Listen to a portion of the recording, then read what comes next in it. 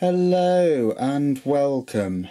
Now, I know I was probably a little bit negative in the the, the unboxing of this this this knife, this monster. Um, maybe my expectations were were too high uh, because it cost a lot of money. Kind of expected uh, expected an awful lot from this. All right. However, after playing with the knife, I am fairly impressed. Um, given that this knife is is kind of a collector's piece. It's not really meant for, for hard tasks, uh, shaving, uh, cutting trees down, things like that. it is purely a, a collector's kind of piece, um, and it's. Uh, I think if you if you really like Bowie knives or Bowie knives, um, I think it's it's a great piece to add to the collection. Just bearing in mind it won't be as functional as uh, as a knife that that you can use a lot um, to you know in the field cut things what whatever. It's it's it's not meant for that. Not really. Uh, I'll go through why uh, in this review. So here it is. Okay this is my my review of this uh, collectible knife. This um, Gil Hibben design knife. Alright I think you probably know the the score by now. I do uh, I do talk about some stats or some specifications first of all, and then I'll uh, go into into the nitty gritty of it. Okay, fingerprints will definitely start popping up as I'm holding, fondling this knife. Okay, uh, that's just the way it works. It's a it's a polished knife, and um, we just can't get away away from that unless you want me to wear wear gloves through the whole video. Anyway, so here's the specs. The overall length of this absolute monster is uh, 20 inches or 50.8 centimetres. The blade length is uh, 14 inches or 35.5 centimetres and the cutting edge, which is about there, okay, right to the tip, is uh, 12.4 inches or 31.5 centimetres. Now the weight, wow, it weighs an awful lot, okay. Um, the weight of this is uh, 33.4 ounces or 947 grams. With the sheath it weighs 39.9 ounces or 1.130 kilograms. So it's uh, 1,130 kilogram, uh, 1,130 grams. Sorry. Okay, so it's it's over a kilogram with the sheath. All right. So just bear that in mind. Um, not really an everyday carry knife. Might be if you're if you're a giant, but um, there we go. Okay, so uh, so some of the features. It's uh, it's kind of designed by that master knife knife maker Gil Hibben.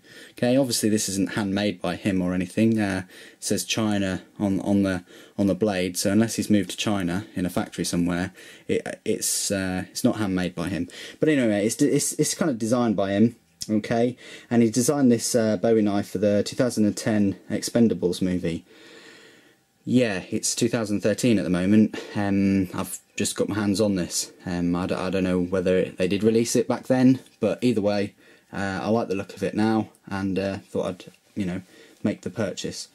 Okay it features a stabilized please take note stabilized synthetic ivory handle with gold plated catcher guard Okay, it has the Expendables artwork, probably just printed on, um, on the handle, and cast star designs on the on the guard, as you can see.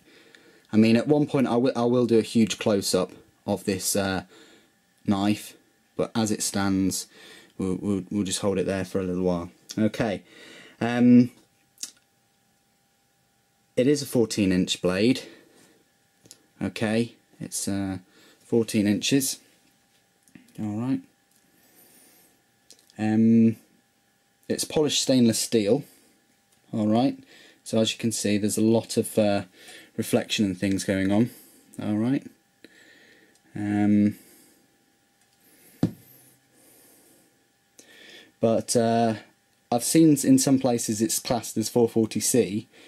Uh, I mean it's it's it's quite sharp, yeah, uh, it can cut through mine can cut through paper and I have I have tried sharpening in it and it and it you can't you can get it sharp sharper sharp, yeah, sharper anyway, sharper, and uh, but but yeah, I mean that that point is just um, absolutely lethal. Absolutely, it's uh, very hard, very sharp and pointy. Um, very good piercing power. It goes straight through. Um, I'll talk a little bit more about that in a, in a while. It is made in China, so don't expect anything incredible. Um, but it for you know I'm, i was quite I was quite negative in the unboxing, but um, I, I, it has grown on me. Um, the the price of one of these is about 100 to 140 pounds, depending on where you look. Um, I mean, it's a, if you like knives just to look at, okay, and that's all, or you or you prefer to look at knives more than actually uh, cutting with them, then um, yeah, this is this is for you really, especially if you're into in, into Bowie knives. All right, um, but if you like uh, if you like knives to to use as knives, then this might not be for you. Okay, it's basically the, you, the, the question you've got to ask is it's a question of use. Okay, what will you be using this for, if anything? If it's a collector's piece, all right, and uh, and that's all it's going to be, hang on the wall in a cabinet somewhere, go for it. Um, because it really does look the business. It's huge. Um, and if you love the Expendable movies, that's even more of a reason. Uh, but if you just want to buy a knife that looks incredible and, and that's about it, then go for it. Uh, you really can't fault it. N not really. I mean, um, I should see all the finger finger marks are now showing up, but there we go. Um, be because of the blade steel, really, and and the pommel. I mean, yes, uh, I'm now looking at, at it from a point of view of of use, but uh, but really that's because that's who I am and and the knives that I have and the knives that I review and things I look at those as as use okay? And that's what I do with this one even though you're not really meant to. So in terms of use I do question the blade steel um, what you're going to be using that for and whether it it, it will hold an, an okay edge. And I question the pommel. They say it's stabilized ivory handle. Uh, I've read in some places that it's actually um, a push tang so there's a, a tang, part of the blade goes in to a point and then there's just lots of glue in there to hold that handle in place. Well, we all know that everybody uses, everybody loves a, a full tang handle and uh, but then there's many cases where uh, handles that are glued on and um, they don't fall apart or it's very very rare um, however I still wouldn't chop a tree down with this I just I just there's just something about it. I just wouldn't wouldn't trust it. Okay, put it that way. Um, I just would not trust this for hard use, and it's a collectible. I wouldn't want to put it put it through that. Okay. Um, so yeah, do do question why you're buying it uh, more than anything because it's a really decent knife to look at, but not really for for function. I mean, because it's it's quite expensive. Like I say, it's a lot of money um, for a collectible uh, that you can't really use as, as a proper knife. I mean, it's, it's a fun knife, very, very sharp point and things. Thrust, it doesn't matter where that, that hits, uh, it's going to be pretty, pretty lethal. Um, in boxes, of course. Uh, but anyway, that's that's that. I'll just show you like this the size of it. I know I'm going on, and I know I'm um, you know probably you know, making you fall asleep and things. But actually, I thought the, the SOG Jungle Primitive was a large knife. This is like a toothpick compared to it. It's it's it's ridiculous. Well, maybe not a toothpick, but yeah, it's uh, it's tiny. And then um, just a size comparison, we've got a a ruler, a steel ruler, and that's a 12 inch ruler there, or 30 centimetre ruler, and it dwarfs a, well, it dwarfs a ruler. Um, and I thought the Spyderco Military was a was a large folding knife, but um, probably fit about two, maybe three of those. Yeah, probably two and a bit of those knives in there. And then the UK PK. I'm just doing this purely for for fun, really, not not not seriously. Um, but there's a UK PK next to it.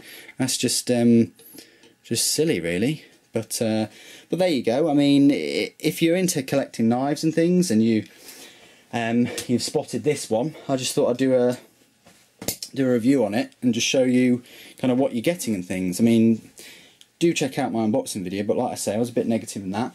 Um, hope you've enjoyed this one a bit more. Just just a quick look at the sheath. All right, it does smell a bit musty in there. Might be because they say it's genuine leather, but um, it's very difficult to tell these days.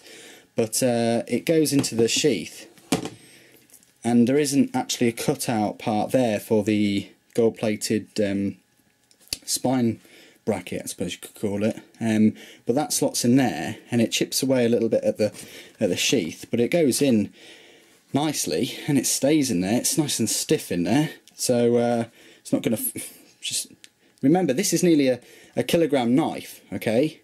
That's not falling out unless I really gave it some. But but there we go. Um, but like I said, it's it's a fun knife to to have in a, in a collection, especially if you if you love the the Bowie shape or the the Bowie shape. If you love that shape, um, and you like Bowies in particular, you just you just can't go wrong. I mean, uh, it's an excellent collectible, and it's it's huge. Definitely wow your friends. Um, I'm just going to get the, the certificate, okay? You do get a certificate with it, so bear with me. There it is. Sorry about that, I should have had it handy, but uh, I had, had it somewhere else. This is the certificate you get with it. I mean, do feel free to, to pause that and read it at your leisure. It basically just um, tells you a bit about the film with his 50 years of experience and uh, a little bit about the, the knife, okay. Doesn't really say anywhere there about the steel, okay, which obviously for me is quite important, um, but it says polished stainless steel. Uh, like I said, I've read in places that it's 440C, but I I don't know about that. I mean, it is it is polished stainless steel, um, and it does sharpen. So but yeah, it's the, the, the main thing is maybe not so much the steel, but but it's just the handle. You tap it, and there's vibration, vibration inside. Not not side to side or anything, but just vibration like it's hollow. Okay, so just um, just bear that in mind. Okay, don't don't be shaking it about or hacking with it. I mean, it's because that could quite easily separate, snap, whatever okay? It's not wooden it's just synthet synthetic ivory okay?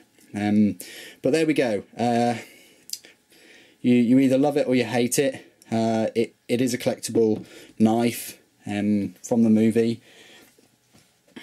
I'd, I'd, if I had the money again I probably wouldn't buy it uh, because I'd probably buy a much more functioning knife um, to add to the collection. Um, but uh, that's just for example, obviously. But uh, if you are the type of person that does does collect knives and you're a you're a huge uh, Bowie knife fan, uh, yeah, it's for you. I mean, it's it's uh, it's a good it's a good knife. Um, just so long as you don't treat it as a knife that uh, you know you want to take out the woods and stuff all the time. Okay. Anyway, hope you've enjoyed that. Sorry, I've you know carried on and on and on, but. Um, you know, there's there's a lot to say about this, and uh, if you if you can try before you buy, definitely do because, uh, like I said, it, it's a huge knife, and um, it would look really good on the wall. Um, but I don't think you're going to start opening your post with it. Okay, but anyway, hope you've enjoyed it. Um, thank, thanks for watching and staying with me, and uh, please do comment, rate, and subscribe on your, you know, your opinions on your your experience of this. Um, and uh, take care.